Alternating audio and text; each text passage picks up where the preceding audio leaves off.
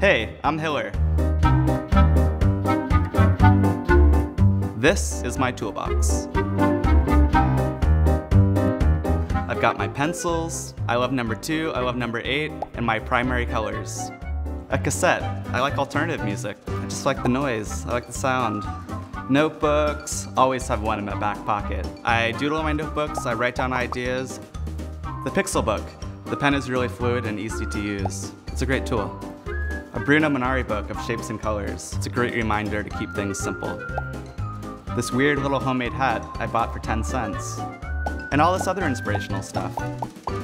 Oh, and sharpeners. I love the smell of a recently sharpened pencil. I make really fun stuff with these tools.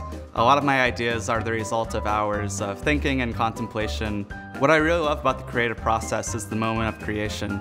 It's always so nice to exist just with the idea in a small space and time.